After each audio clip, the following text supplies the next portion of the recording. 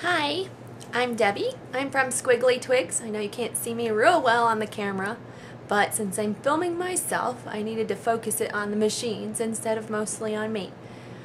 I'm going to show you today how to chain sew patchwork pieces together.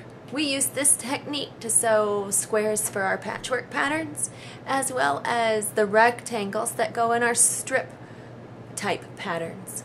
Then we'll get right on with it. I'm going to start with the serger and show you that.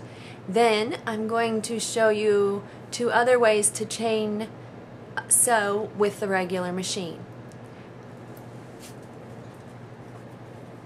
First, you take two of your squares, match them right sides together, put it under the sewing machine, find my pedal, and stitch. When you get near the end of those squares, you're going to match up two more put it under the presser foot and stitch. Just make sure that your sets of squares do not overlap.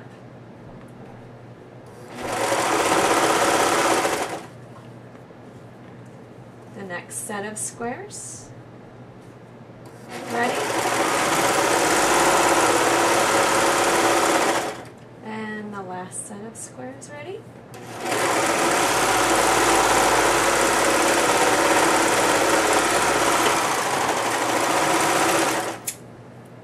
A serger makes quick work of this because it does the stitch and the edge finish at the same time.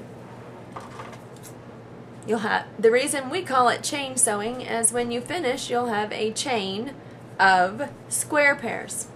Take your scissors and snip them apart.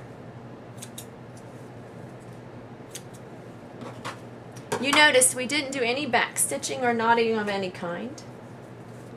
It's not needed. Now, I'll move to the sewing machine. And I'm going to set my machine for an overcast stitch. You will find an overcast stitch in your manual.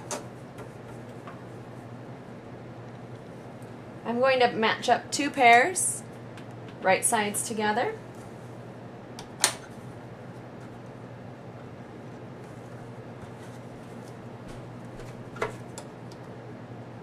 Put my presser foot near the edge of my fabric.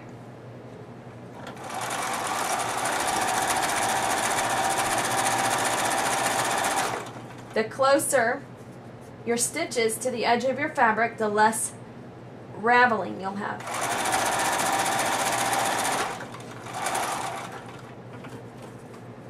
Prepare the next set.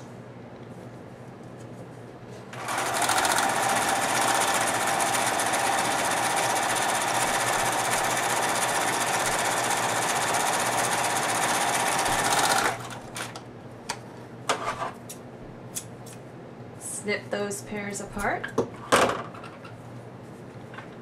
Now I have two sets of four. The last way I'm, the last way I'm going to show you will use a straight stitch and a zigzag stitch. This is the slower of the options but still effective. You'll have to make two passes through your squares like this. First you'll do a straight stitch with your presser foot on the edge. And you'll do that for all of your pairs. You'll snip your pairs loose and then you'll come back through all of your pairs and set to a zigzag stitch and zigzag near the edge.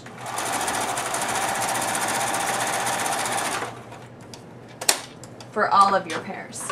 If you had more pairs, you just keep sticking them through in the chain manner. Those are three ways to chain sew and make quick work of piecing patchwork pieces. Thank you.